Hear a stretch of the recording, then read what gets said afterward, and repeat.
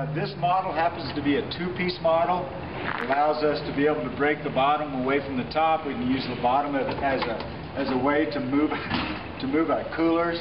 You can see that cart underneath has handles on it that we can um, be able to uh, move our coolers and, and, and ice chests full of water and ice.